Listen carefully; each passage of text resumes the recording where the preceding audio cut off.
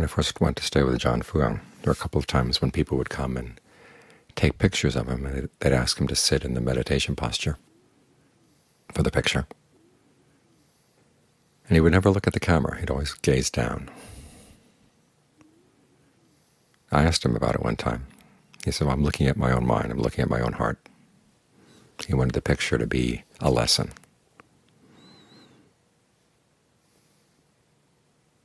That's what the meditation is all about. You want to look inside. You want to look at yourself.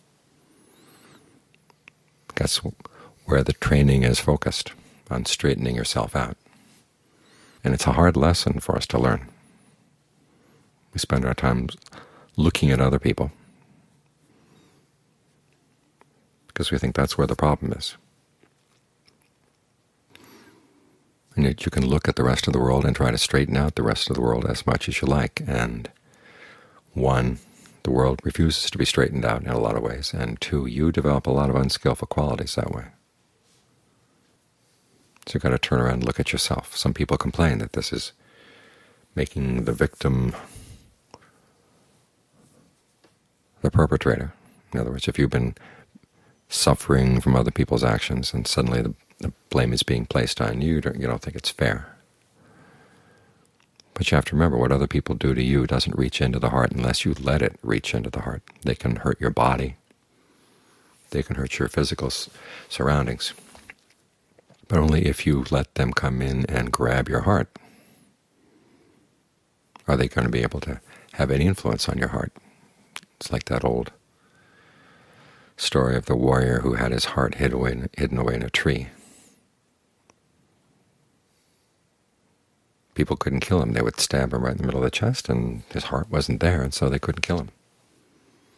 It was only when someone figured out that the heart wasn't there, it was stashed away someplace else. They went and found it. I remember this vividly. There was a masked drama they called a khon in Thai that was depicting the story. So on one side of the stage you have the warrior, and another side of the stage there's a little tree. And the good guy is going in to get the warrior's heart, and he reaches into the tree and squeezes, and all of a sudden the other side of the stage, the, the warrior suddenly clutches at his chest and falls dead. If you place your heart with other people, they can squeeze it. So you've got to place your heart inside, place your gaze inside, look at yourself. And this is what the Four Noble Truths are all about. The cause of suffering is craving. Who's craving? Yours. The cause of suffering is ignorance. Whose ignorance? Your ignorance. So we have to remember, not only while we're sitting here and meditating, but as we go through the day, you want to watch the state of your heart. And sometimes it will come out in your actions. It can't help but be reflected in your actions, so you take care of your responsibilities in the world. But here at the monastery, the bottom line is that each of us is gazing at his or her own heart as we do our duties throughout the day. And it's there that the real work is done, the real work is accomplished. The suffering that comes from our own craving comes from our own ignorance. It's not going to be solved by looking at other people's actions or trying to straighten other people out. There's a level of devas the devas corrupted by play, the devas corrupted by mind. They spend all their time looking at each other and give rise either to lust or to envy. And because of the lust and the envy, they fall from their deva realm down to a lower realm. And it's the same with us. We can look at each other and give rise either to desire or dislike.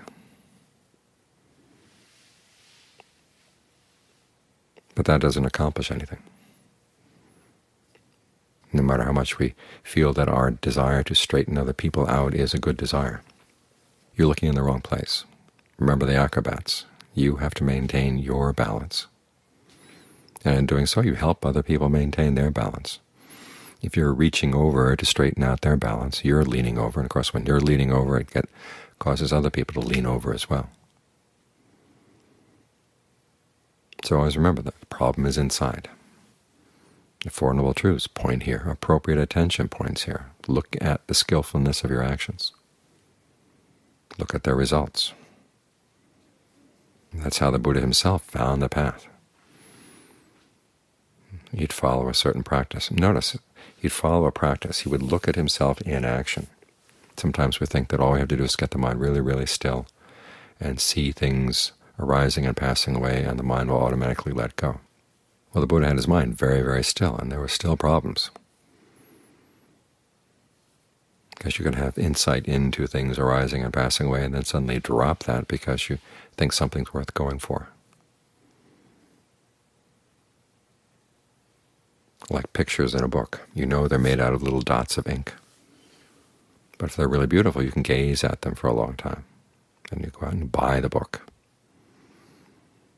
So even though experience may be formed out of just little impressions that arise and pass away, we know that, but we can still go for things because we think it's worth it, that there's something to be gained by going for them. So you want to watch yourself in action as you go for things. If you see yourself going for something unskillful, okay, there you've learned a lesson. You learn how to stop. And then you try to develop the mind in the skillful direction, looking inside, learning to calm the mind down. This is our main activity.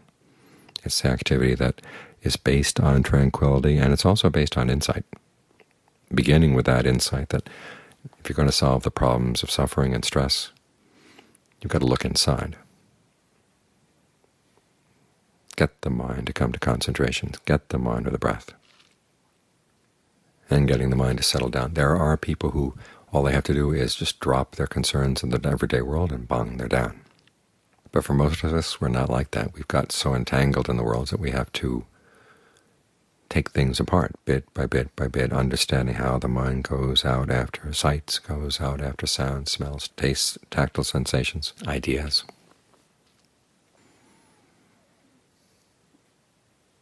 We have to look at that.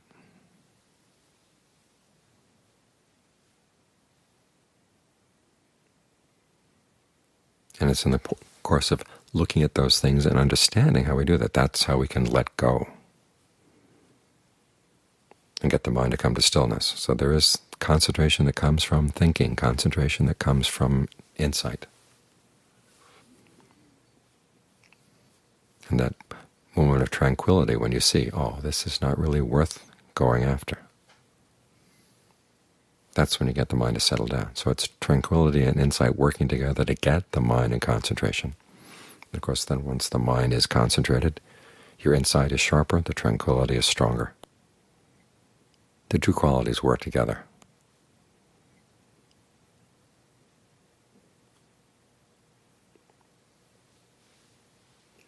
And in doing the activity of stilling the mind, that's when you're going to see both your skillful qualities and your unskillful qualities in action. And you get to see, okay, which ones are worth it, which ones are not. The ones that are blatantly unskillful, you can, you can see pretty quickly. The ones that are more and more refined levels of skillfulness, that takes time.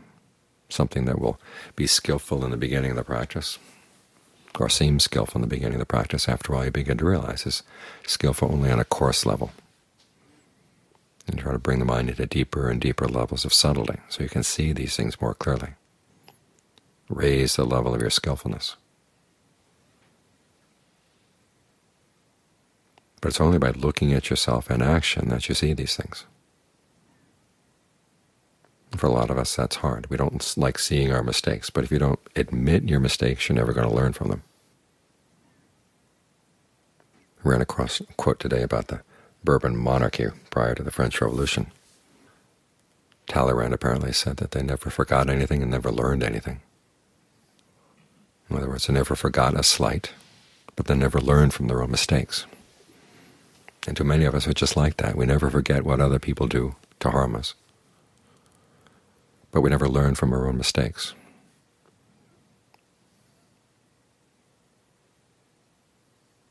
And that's a recipe for disaster.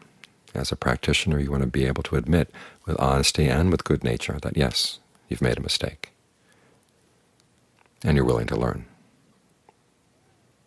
So the practice requires a certain amount of maturity.